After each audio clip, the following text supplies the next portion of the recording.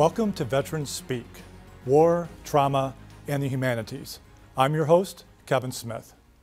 Since the beginning of civilization, humans have used philosophy, literature, religion, art, music, history, and language to understand and record our world.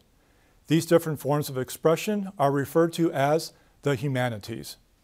Knowledge of these records of human experience give us the opportunity to feel a sense of connection to those who have come before us. Today, there are approximately 20 million veterans in the United States. Since the end of the draft in 1973, the United States has maintained a fully volunteer professional military. As a result, a smaller percentage of people than ever before have been asked to deploy to foreign wars and have often been asked to do so repeatedly.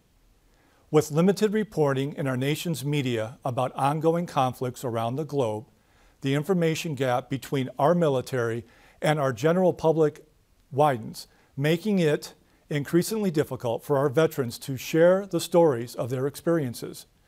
During this program, we'll take a look at how the engaging war-related humanities sources enables veterans to make connections with their own experiences and helps others better understand war's impact on those who serve. Joining us to talk about the ways that literature can serve as a means to better understand the experiences of combat veterans are Dr. Rosemary Johnsen, professor of English literature at Governors State University, and whose father is a Vietnam War veteran. Also joining us is Mr. Robert Mason. Robert is a digital imaging graduate student and a Marine Corps veteran. Also, we have Mr. Victor Jesus Garcia, interdisciplinary studies undergraduate student and a Marine Corps veteran. We stated earlier that non-veterans are more and more removed from the experience of war, and that has led to a greater divide between veterans and civilians. So my first question is to you, Dr. Johnsen. How did your National Endowment for the Humanities grant aim to address um, and give the five students credence with your class? Well, the NEH's Dialogue on the Experience of War program is relatively new. It's just a couple years old, and its aim is to open up conversations about these issues using the humanities as a way into them so that you begin the conversation by looking at humanities products. Um, so Andrae Marak and I proposed a special topics course, War, Trauma, and the Humanities. So a regular GSU course with regular GSU students in it. Um, but our proposal was to bring in the five student veterans to serve as discussion leaders and to help make connections between their experience and the literature that we were reading. Uh, we were thrilled to get the grant because it allowed us to move forward with the class, which has been a great success, I think, for everyone involved. But it also lets us take the conversation out of the classroom. Um, the grant drew some off-campus attention, and we get to have public events, including this town hall this evening. So another question, with the five student groups, can you explain um, what they do and how you prepare them for that experience in the class? First of all, we selected the five after a competitive process. So we went into it confident that they were well suited for the job. Uh, before the class began, we spent six weeks in meetings um, dealing with some of the content. So introducing course material, learning some historical context, learning about resources that are available. Uh, we also addressed the skills side. So how do you read a poem? Um, how do you redirect discussion when it gets off topic? Things like that so that they had a chance to practice those things during the training sessions. And then at the end of the training, we did some planning with them for the the first course sessions that we would have. Um, in the course itself, their main role is leading discussion in small groups, which have been set up a little bit differently each week, and they also take a significant role in whole class discussion and all the class activities. Um, can you give us some examples of the range of literature uh, that you use for this course, and why did you select that? Nearly everything that we included in the course was written by a veteran or someone else who had frontline experience, but within that we looked for a broad range of genre and we cover more than 100 years of time from the beginning of the First World War up until right now. Um, we spent the first half of the course on First World War literature, primarily British literature, um, including two weeks of poetry, a novel, and a film about a um, First World War Welsh poet. Um, there's many good reasons to spend that kind of time initially on the First World War. Uh, one is it made a natural way to begin our engagement with the humanities because there's a little bit of distance between us and it. It's also a period that produced a lot of great literature, particularly coming out of Great Britain. Um, because of the scale of the mobilization, poets went to war. Um, others took up poetry as a way to articulate their experience after they were in the war. Um, secondly, we have over the last several years hit a variety of centenaries, and these have been marked with commemorations, special museum exhibits, things like that. It's a good time to be looking at the First World War. Some of those things we were able to bring into class directly, and others we used the class hashtag on Twitter um, to link to images and supplemental readings and things like that. Uh, the First World War was a cataclysmic event. Um, it really shaped everything that's happened after. So you have technological advances. It was the first time tanks were used, uh, mustard gas was created. Um, but at the same time, you had the troops kind of stagnating in these trenches. And so the First World War was the first time that what we now call PTSD became an issue that had to be addressed. So one of the things we got to do in the class was look a little bit at the kind of medical treatment that was available for what at that time was called shell shock. So the First World War really gave us a good base, and then we moved from there. Good. Thank you. I know we could talk about that the whole evening just on World War I, correct? Um, Mr. Mason, of all of the humanity resources you were exposed to during this program, uh, you related to one piece of poetry the most. There was an excerpt in particular from a World War I poem by E.A. Mackintosh called In Memoriam, Divided, a Private D. Sutherland, Killed in Action, the German Trench, May 16, 1916, and the Others Who Died. Can you please share this with us? So you were David's father, and he was your only son and the new cut peats are rotting, and the work is left undone. Because of an old man weeping, just an old man in pain, for David, his son David, that will not come again. Happy and young and gallant, they saw their firstborn go, but not the strong limbs broken and the beautiful men brought low. The piteous writhing bodies, they screamed, Don't leave me, sir! For they were only your fathers, but I was your officer. Robert, why did you select this poem and what does it mean to you? Well, life is about relationships. And the relationships we shared on the battlefield were very close, very intense. This particular poem resonated with me because most of the troops or the, the young men I served would call me Daddy Mason instead of Sergeant Mason. So I saw it from that officer's perspective. I was very close with the guys I serve with. My favorite scripture is There's no greater love than a man would lay down his life for his friends. And Jesus said that to his disciples. But who knows that better than a soldier on the battlefield? How does this poem resonate with your own experiences? Go into that a little bit more. I can remember coming out of a uh, Oh, I was going into a tent. Another corporal was coming out. And he stopped me and he said, Corporal Mason, what's wrong? And I stepped back because I, I wasn't sure what he was talking about. But he said, You're not smiling. And I said, What do you mean? He said, If you're not smiling, we're in trouble. I need you to smile. I had to go have a moment with God after that conversation because I let something get to me mm-hmm. And it was reflecting. I had to change the way I thought in that moment. We were that close. Dr. Johnsen, is this a poem that is typical of World War I poetry?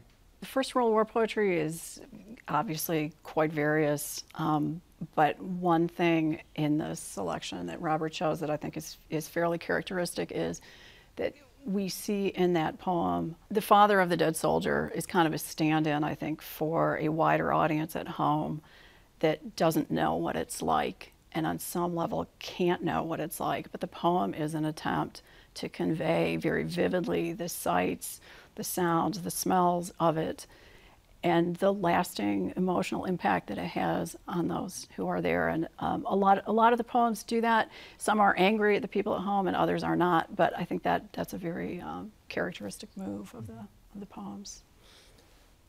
Victor, after uh, hearing Robert read that piece of literature, does that also resonate with you? Yeah, um, right away it comes to an experience of seeing an officer, um, how he experienced the death of a Marine um, that was, was subordinate, one, one, one of the squad leaders. And you could see how he still operated and still would conduct himself as an officer would in, in theater. But when he was separated from the field in the berthing area where we were away sometime, you could see where he was suffering. You know, he wasn't eating, he was kind of distanced from himself. And it was kind of the idea of the burden of command. And you saw it in the officers that a lot of times they kind of put this persona that they had to carry on, and that the listing were allowed to see that. Mm-hmm. But I did see it. And also with that, um, with the same Marine, also it made me think about his mother, you know, back home And I found out sometime later that she had found out that he had died on Easter Sunday. So I couldn't imagine what that would have, I can't even imagine what that would have felt like. I, I understand how I felt and how I could see it in the officer, but very different for the mother at home. Victor, you chose a different piece of literature that focuses on the war in Vietnam. Timothy O'Brien's short story and book, The Things They Carried. You have mentioned in class on a number of occasions that this particular selection reminds you of your own actions in Fallujah. Can you please share this selection for us? They carried all the emotional baggage of men who might die grief, terror, love, longing. These were intangibles. But the intangibles had their own mass and specific gravity. They had tangible weight. They carried shameful memories. They carried the common secret of cowardice. Men killed and died because they were embarrassed not to. Thank you, Victor. Can you also explain why this speaks to you personally? It was actually a, a point in the class. We were going over the things they carried um, by O'Brien, and she's uh, one of our uh, my peers related to is like, do men like do do guys fight because they're embarrassed not to? And it brought me back to a real world moment. And this is this is even before Fallujah. This was actually for the invasion of Iraq. Um, we were ambushed in Al Kut, and then I mean, part of the ambush there was this building that needed to be cleared. There was a grenade thrown in. The grenade tossed up all the dust and everything that was in there. And I remember I was the first one to go into that room. And I, when I went into the into the, the building, there's a little shack. It was filled with smoke. And I remember just for that moment, because you had time to think, well, the dust cleared up. Like, oh shoot, like this is different. This is close in your face. I might have to engage someone. And for a moment there, I was like, why am I just standing here? Because I'm not going to lose face with my fellow Marines. I'm going to stand my ground because that's what they expect me to do. And because, frankly, I was, I, I was more fearful of showing fear to my fellow Marines than of fear of death at that moment. So, in that respect, it resonated with me. And that it changed over time with Fallujah itself. Um, I learned that we fought for different reasons. Uh, we carry different things. The loss of people. There's and it's hard to explain that. And as O'Brien writes, it's the intangible. How do you explain how much that weighs on us when we lose someone? And we saw that more so in my second deployment in Fallujah. Robert, what sort of impact does hearing Victor read that piece of literature have on you? Uh, the things we carried is, is special to me also because I think we've all had a love affair with an M16.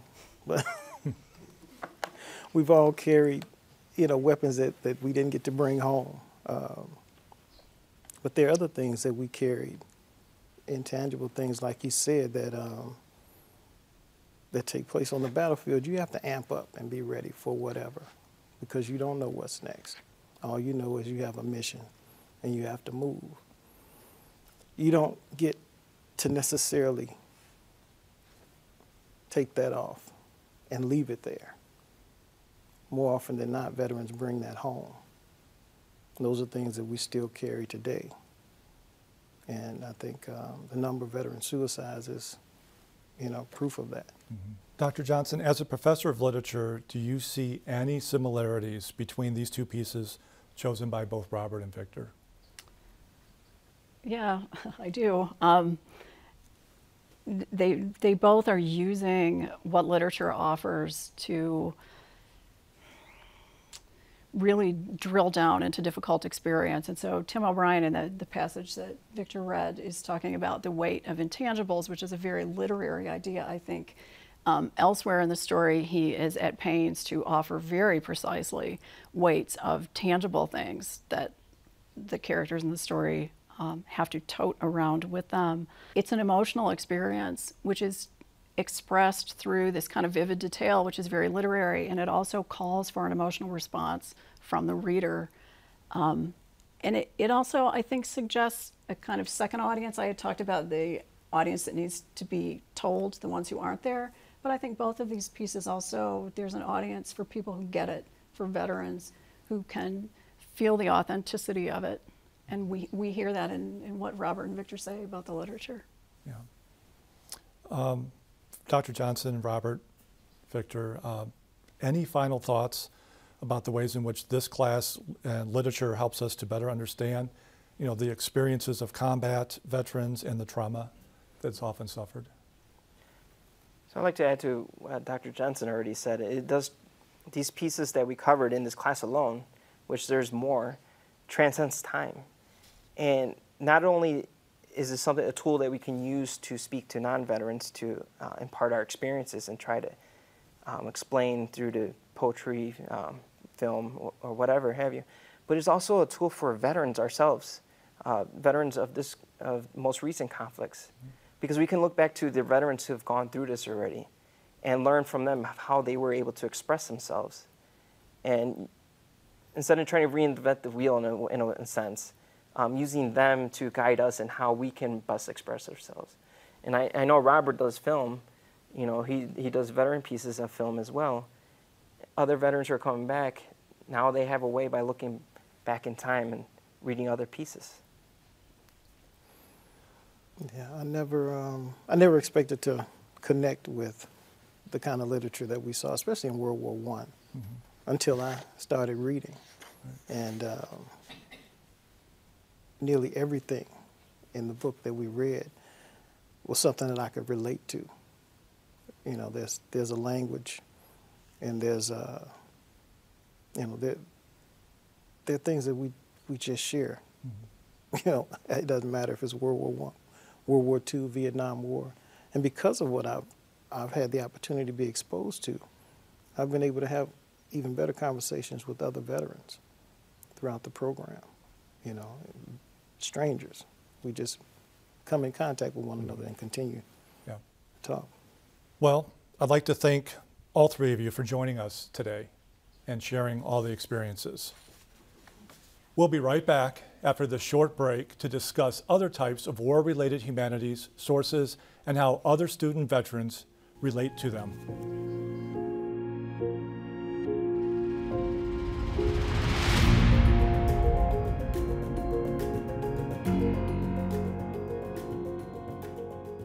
Veterans Speak will return in a brief moment. This program is brought to you by Governors State University's Digital Learning and Media Design Department and was funded by a National Endowment for the Humanities grant, Dialogues on the Experience of War. This grant program was launched in 2015 in order to support the study and discussion of important humanities sources about war in the belief that these sources can help U.S. military veterans and others think more deeply about the issues raised by war and military service. For more information about the War, Trauma, and Humanities Project, visit www.govst.edu forward slash CAS grants.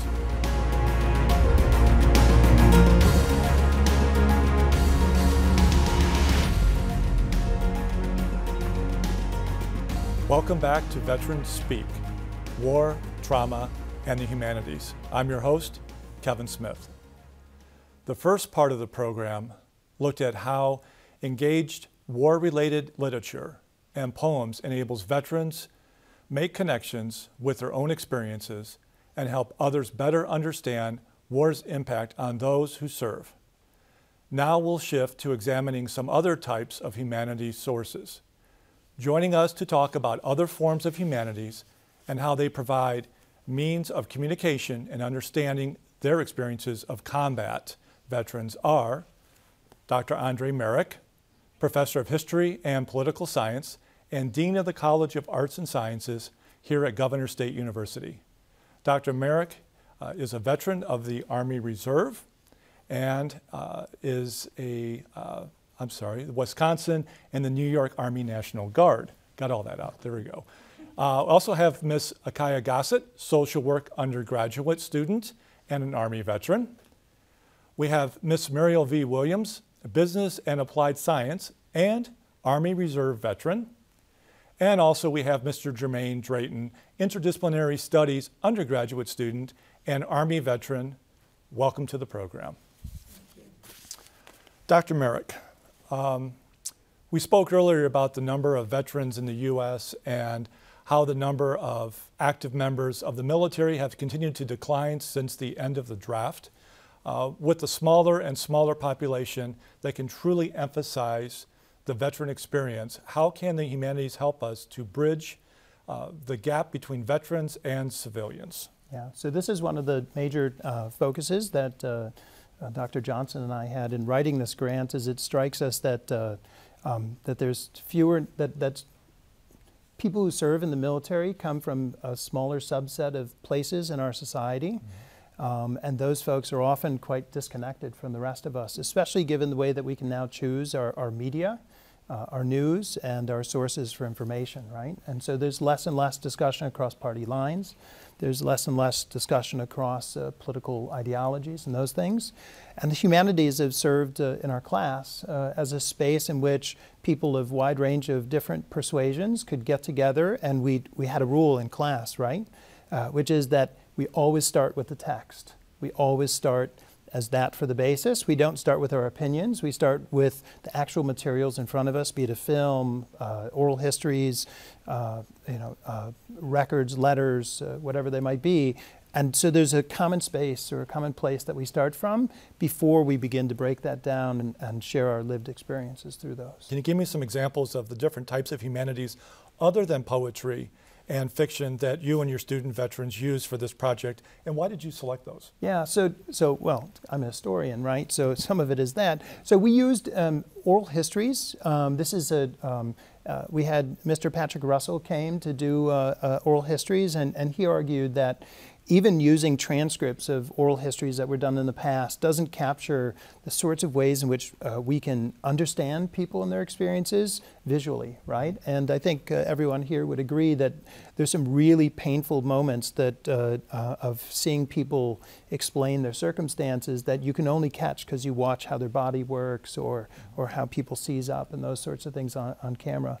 We also did personal correspondence. You're going to see here that uh, all of these students here uh, selected personal correspondence as, a, as their, their um, uh, their type of humanities. I, I think we were really surprised that that was the case, but perhaps as a historian we shouldn't be. This is one of the ways in which we, we dig back into the past and understand it is the letters that people send to other people that are really heartfelt and close to home.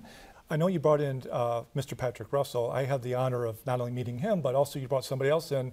And why did you, and who was this individual again? Maybe explain. Yeah, yeah. So Rick Ryan wrote mm-hmm. a, um, a fictional memoir of uh, Vietnam and uh, we brought him in because he wanted to talk about, so he served during the Vietnam era, but he actually worked to avoid serving in Vietnam. And he argues, and I think a lot of people would, uh, uh, he was convincing in this, is that he also carries uh, um, a lot of uh, uh, things too. Um, from his service in his, from his service of avoiding Vietnam, he went to Germany and served in the MPs there. Um, and, uh, um, and he left a different person as a result of his service during that time period. Akaya, uh, you related to one of these nonfiction sources, a letter from Staff Sergeant Sharon McBride, wrote to her unborn daughter called Dear Baby. Can you please share that with us? Sure. Dear baby, as you grow inside me, I have been thinking more and more of what it means to be a mommy in the U.S. Army. Let me be the first to tell you, though, that we have a rough road ahead of us, kiddo. The life of a soldier isn't an easy one. As a soldier, I have given my word that if the call comes for me to do my part in making the world a better place to live, I'll go. No hesitation, no questions asked. I'm going to miss a lot of important things, perhaps many of your firsts birthdays, holidays, you know, all the good stuff. But I am a soldier. It's a profession that few choose, but one that many don't hesitate to call when there's trouble to be fixed. While we are together, though, I promise to hold you a little bit longer than necessary, fix your favorite food for dinner, kiss you a lot, hold your hand, and take as many photos of you as possible. Memories of these will help to sustain us while we are apart. Just take to heart that being an Army baby won't be bad at all. There will be sweets to go with the sour. You'll get to travel and see other cultures that other kids won't get to see. There will always be food on the table and clothes on your back. And if you get sick, you will always have medicine to make you feel better. So, you were a mom twice. Can you please tell us a bit about the emotional toll that deployment has had on you and your family? I think it's interesting to realize that I went into the military already as a mom, right? And before I even had my first son, dialogue was already taking place that I was going to join. Then I found out I was pregnant and that kind of postponed things. And so after being in and being a single mom and now having another kid and knowing that this is what comes with the territory of choosing this type of profession it takes an emotional toll on you and i think that it takes an emotional toll on your family as well because how do you explain that you chose this and that you're intentionally choosing to be a mom again knowing that neglect indirectly or directly may be something that you may have to do or that's an emotion that your child may experience. How do you how do you explain that to someone who has been allowed to be with their children 24/7 it's kind of hard to explain that and it's kind of hard to explain to your children when they get older and they ask why. Like why you didn't want to stay with me. Right. Mariel can you relate to this also? Definitely. Um, when I deployed, I was an unmarried mother um, of an eight and a half month year old son. And I, you know, just leaving him, you know, it was a sense of duty, definitely. Um, but of course, you don't want to leave your child. Um, so going away, um, I made sure I tucked his, um, his picture in my Kevlar.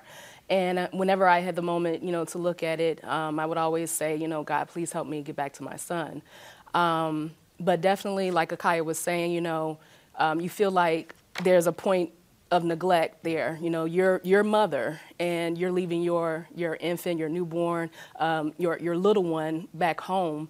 Um, even though you're going to fulfill an obligation, um, you do feel as a, a, parent there's a sense of you know I'm I'm neglecting my child. Um, so I can definitely uh, relate. You know, Mario, you uh, you've also selected uh, correspondence from the collection Operation Homecoming. You selected an excerpt written by a mother about her son returning from deployment. Can you please share this with us? This week he's due home, this son of mine. I wonder, is he nervous?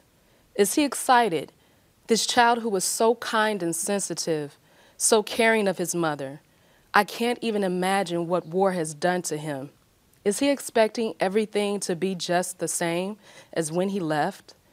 I remember some veterans saying they wanted everything to be exactly the same when they came home. And when it wasn't, it was a nasty shock. This week is full of questions, full of doubts, full of excitement. I walk around with a smile on my face, despite my concerns.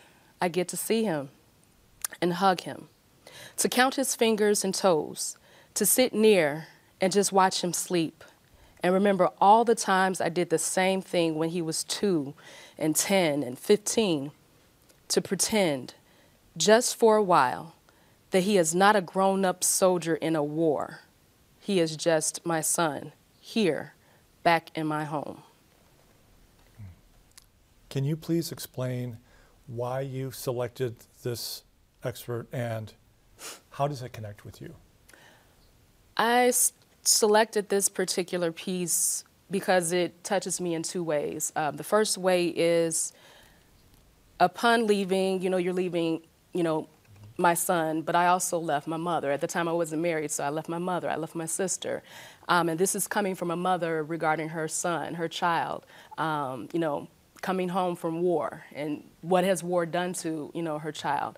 Um, I had never asked my mother, you know, how did this how did this play into her emotions and how you know what was her day like you know wondering if her her daughter was okay. So that was the first um, way that it, it, it, touched me. And the second way was you know i was the mother you know being a world away i would call it um, for my son. Um, i did miss the the first steps and i missed the first words um, the first birthday. I missed those first milestones. And just wanting to, to, to make sure that you know um, in his mind, you know, that he would still know me. And then that was the nasty shock I, I came home to. Um, he didn't know me, you know, reaching out to my own son, you know, he, you know, pulled back, you know, as if I was a stranger.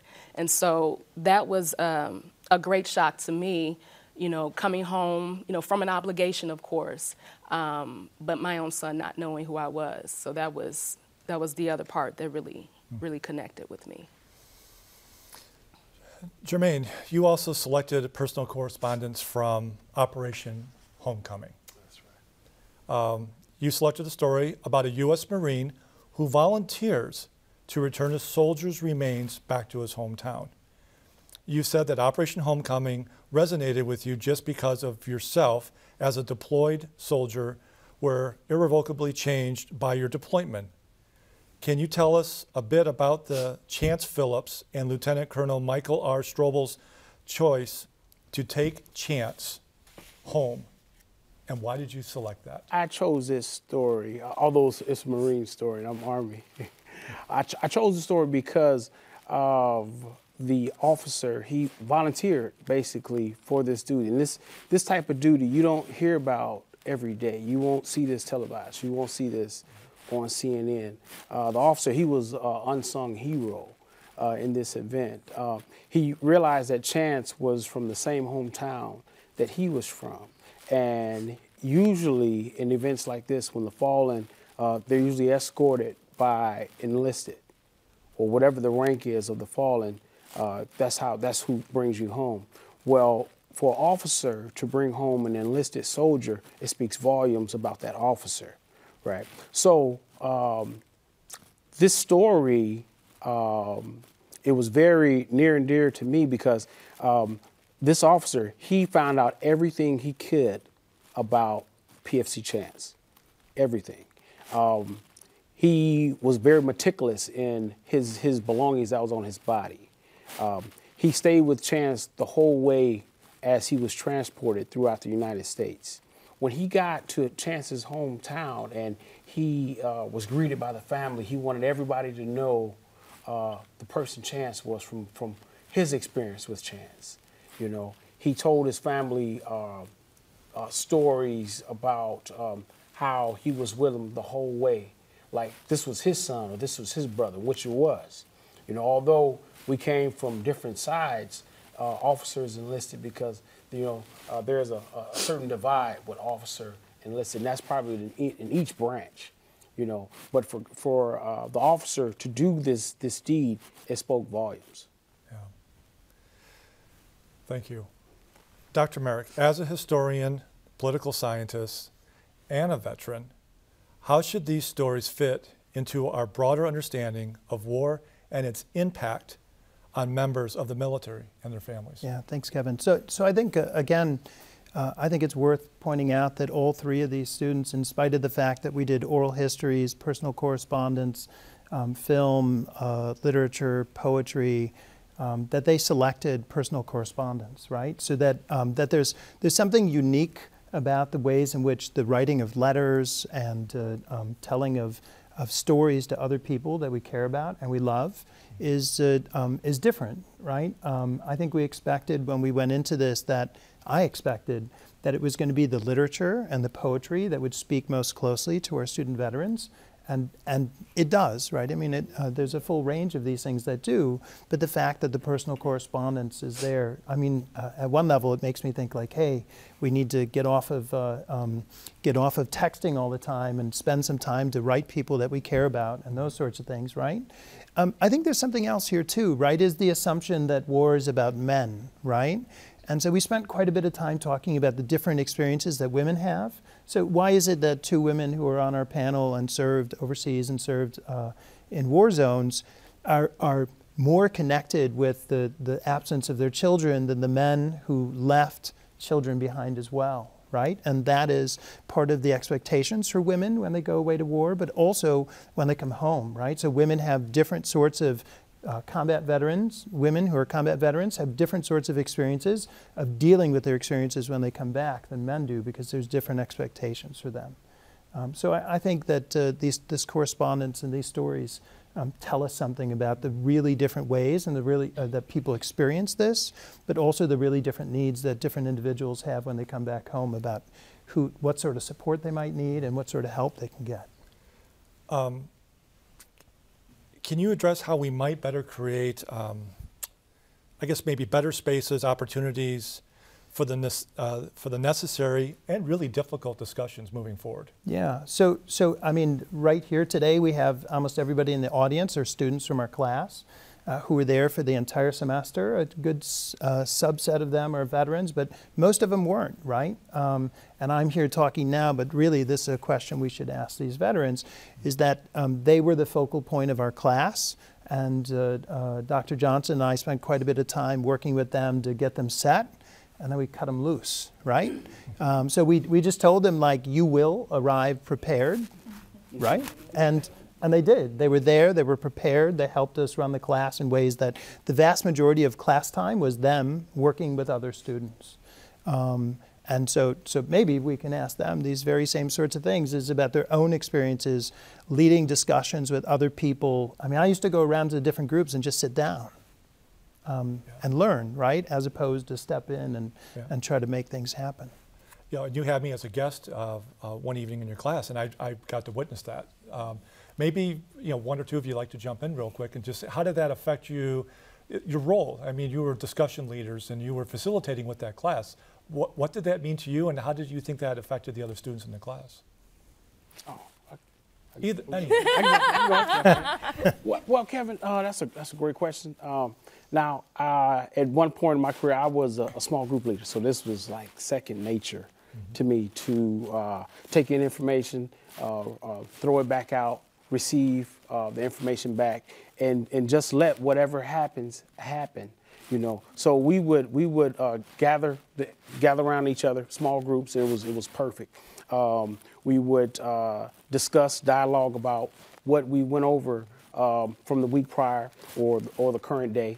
And we would we would sit back and we were pretty much uh, we would learn um, from some of our, our actual other brothers in class, because we had other veterans in class that uh, gave out information as well too. They were senior us, and we took in their information just like they took in our information, and everybody learned from each other.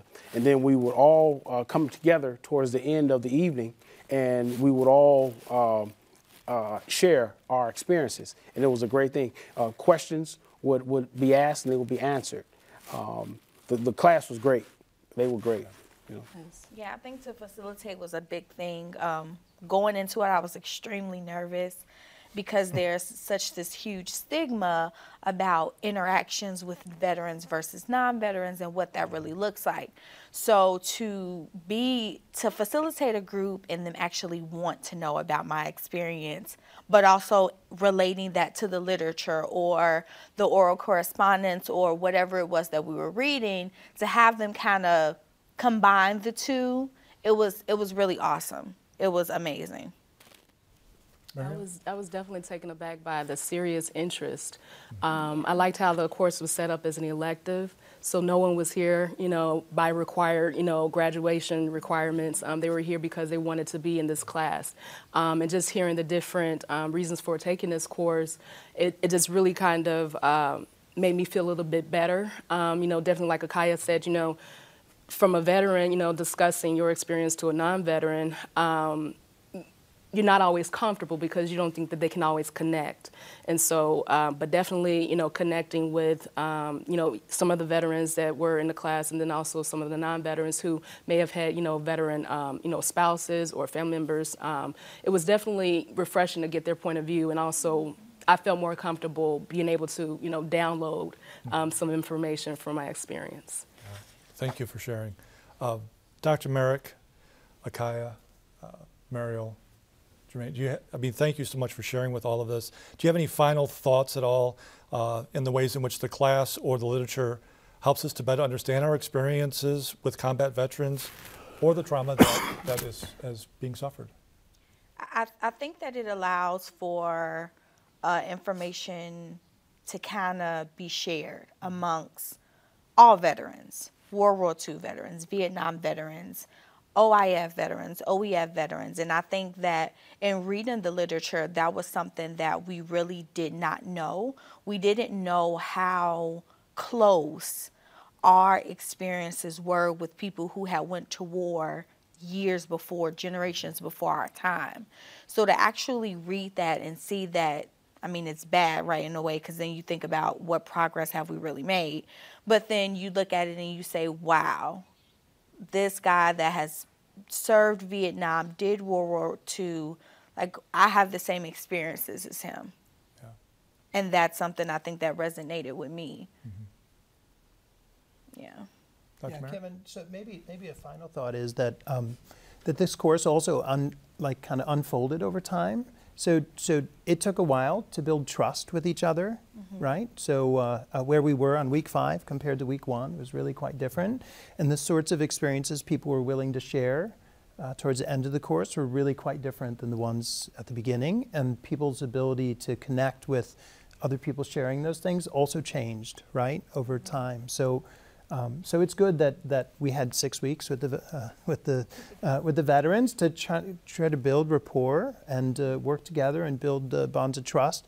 And then we restarted and had eight more weeks and then we had to rebuild new sets of trust with the students who entered the classroom. But the students did awesome job. Yeah.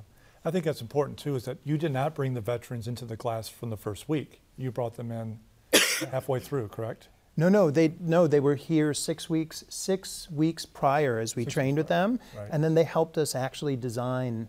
Um, they helped us actually design some of the course and what materials we were going to use uh, in the classroom itself. So we gave, we handed over some of the course authority for that uh, to the student veterans um, because uh, we showed them here's a wide range of different approaches we could take. What are you most comfortable with? And then we adjusted over time, uh, uh, knowing what they liked, what they wanted to work with, and how class flowed best. Well, again, I want to thank you all for being here. It's, uh, it's just very enlightening, and uh, thank you for sharing your stories and your literature. We'll be right back after this short break with our student panel to continue with the compelling, these compelling conversations.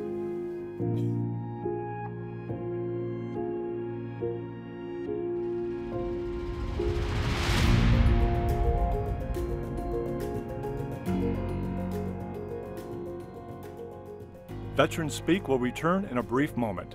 This program is brought to you by Governors State University's Digital Learning and Media Design Department and was funded by a National Endowment for the Humanities grant, Dialogues on the Experience of War. This grant program was launched in 2015 in order to support the study and discussion of important humanities sources about war in the belief that these sources can help U.S. military veterans and others think more deeply about the issues raised by war and military service. For more information about the War, Trauma, and Humanities Project, visit www.govst.edu forward slash CAS grants.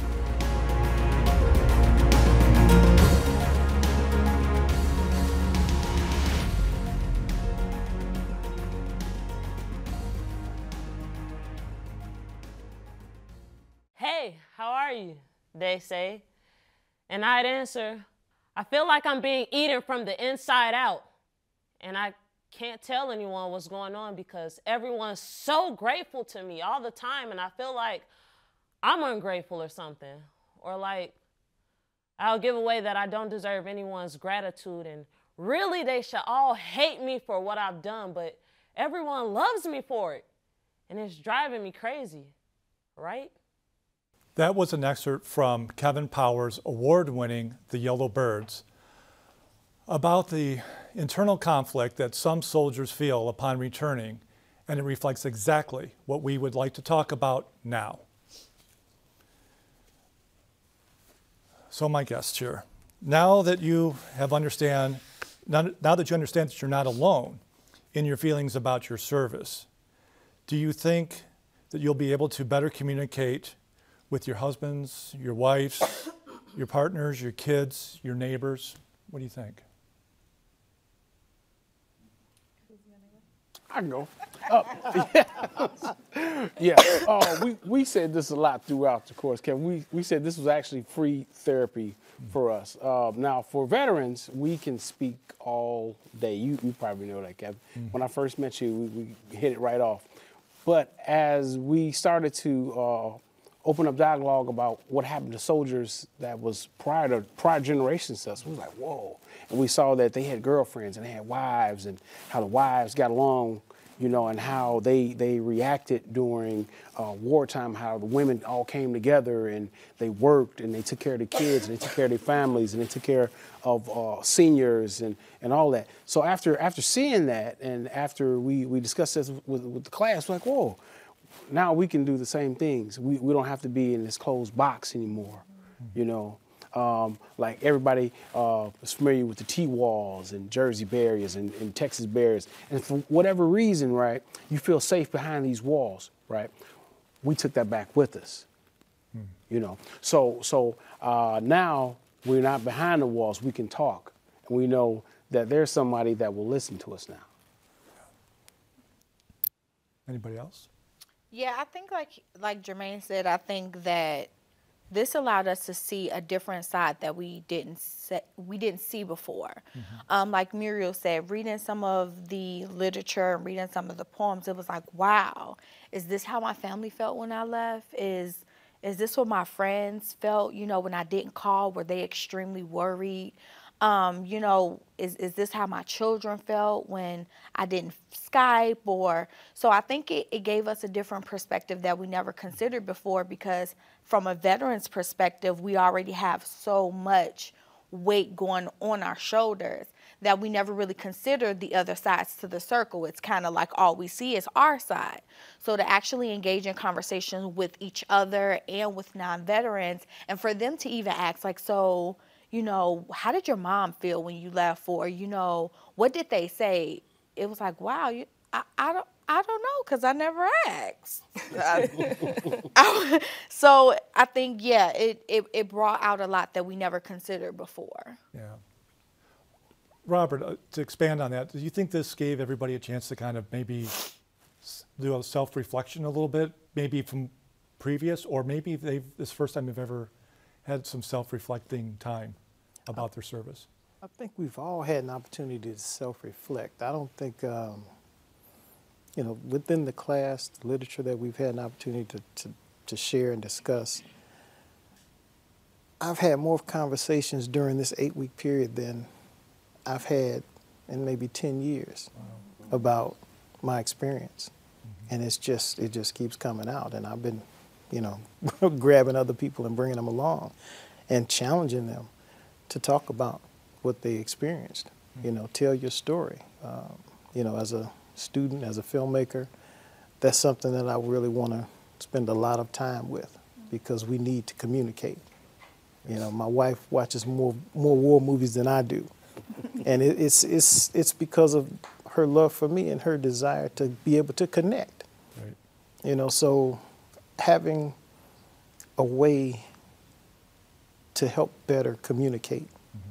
the things that we feel, the things that we don't discuss or talk, we hadn't talked about. It, it, this class has helped bring that out more. Do, do, go ahead. I was going to add to that. that. One thing to also reflecting what Robert is saying and, and to your question is one of the, and during the oral history, someone mentioned like, "Oh, time heals," and not, that's not necessarily true you realize time really doesn't heal. It's just how you cope with it, how you manage it.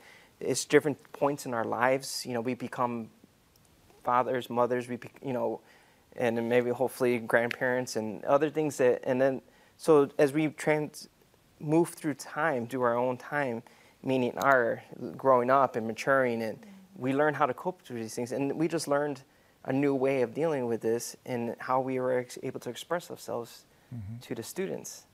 And maybe we'll learn, I'll learn some more. And maybe there'll be other things I think about 10 years from now. When my daughter's old enough where I'm actually going to explain this to her. Mm-hmm. I've explained this to my wife. But now uh, the new the new thing that I have to do as a parent, as a father, is like, now how do I explain this to my daughter?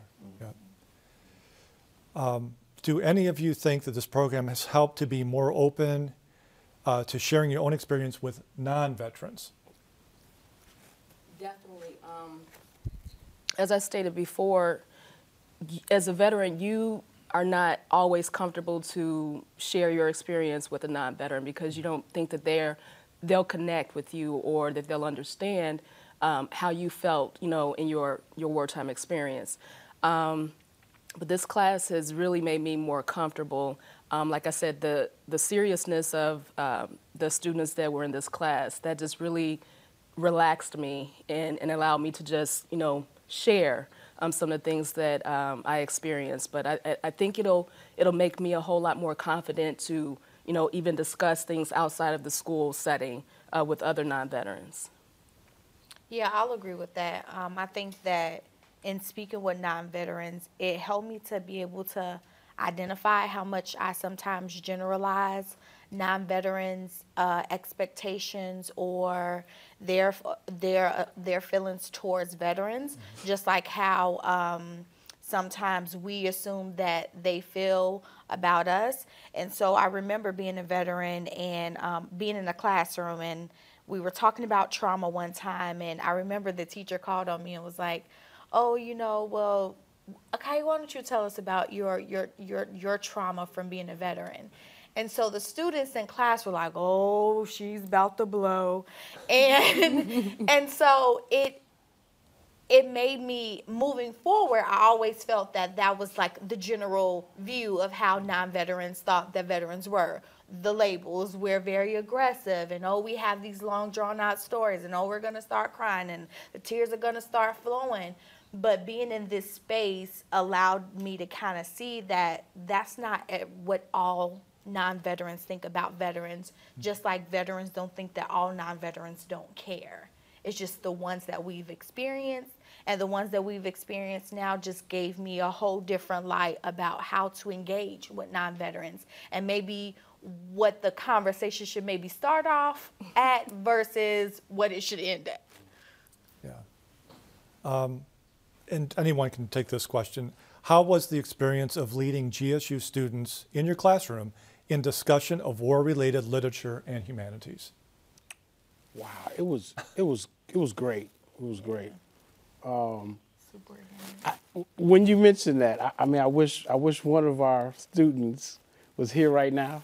He he loves to talk just as much as I do, and he he was an additive uh, to our class. He was he's actually part of our success, and he's in the audience right now. Uh, he know who he is, but it was it was it was great listening uh, from listening to him and, and getting information from him um, and the knowledge that he he has. Uh, he he reminds me of the mentors uh, that I, I had when I was in, in the army still. Um, for whatever reason, I used to hang out with sergeant majors, and these guys had all of the information you needed to succeed, and they can talk to anybody, Kev. I mean anybody, and and I soaked all that up, and I, I kept it with me, you know. So I never had a problem with with uh, discussing or, or trying to teach something to somebody or or this is what I have sharing. I never had a problem with that. And I never will. And when I met this this one uh, student, I was like, wow, you do remind me of a sergeant major that that I had, you know. And I'm glad that he was in our class. Just adding to the stories, right? Because you said earlier, veterans can talk about anything. Yeah. But then we get lost in our own terminology, our own jargon, Yeah. and people are like, and that's part of the standoffish mm-hmm. because we get in our own vernacular of what we're talking about. And you, I could talk to anyone, and we'll just get going, and mm-hmm. and someone who's not a veteran will understand. And that's why the beauty of what Dr. Marak said was going back to the literature, mm-hmm. Because the literature truly was there and really explained things. The way the poetry just flowed and how they describe here a bullet, you know, described every little thing about the bullet. And so bringing it back to the literature, and then the students would ask, well, was it really like that, or was it this? So then we add the extra authenticity to the literature because we'd be like, yes, even though we were talking about something from World War One, we'll be yes because of this, because of our own mm. anecdote of something that we experienced. So it was wonderful to be part of that. Yeah. And I, I can speak from experience in my office at Veterans Resource Center. Whenever a new veteran student or an existing veteran student walks in, I don't have to say a word. I just, I walk in and they'll be talking for, I'll have to go and sometimes say, you have class today, right? Yes. I have to remind them, right? So, yeah, so I do understand it. And I see that every single day, which is wonderful to see. But yeah, I can see how this, the literature and the humanity, how this actually broadens that. Um, how, uh, how did the students respond specifically uh, in the context as you as a veteran? I know I saw it when I was in class at one time, but I want to hear it from you. I think um, their response was they were very intrigued. Um, they were very, um, you know, really inter- genuinely interested in wanting to hear our story. I received a question from one of the students, and she said, you know, uh, you know, as we're talking about, you know, the the non-dialogue of you know veterans to non-veterans, um, she said, "What's the the code of silence?" You know, she said, "Why don't you all talk about your experience?" And so I was able to share with her one-on-one about you know you know not feeling able to connect, but um, very well received. Um, you know, at one point, you know, it was almost as if you know I felt like okay, you know, I'm just you know a, a student here, um, but we do understand that you know we were the focal point for the the course, um, but you, you look at yourself as you know just someone fulfilling the job. Right. Yeah, and I think like we're we're all soldiers, so I mean, we're not sensitive at all. And so it was very surprising that in asking questions, they were very like sen- they they wanted to make sure that they weren't offensive to us, and it was like, oh, you can ask me whatever. I'm not. It's not gonna hurt my feelings, but to see that they actually cared about like not being offensive to us versus somebody walking up to you like, "Oh, have you ever killed anybody?" You know, some people do that, and then for them to actually, you know, say, "Hey, I don't mean to offend you, but you know, what was it really like that?" So for them to be that empathetic towards us was absolutely amazing. That I, I thought that was that said a lot to me about them choosing this class and about them actually wanting to really get to know us on a different level than just a veteran.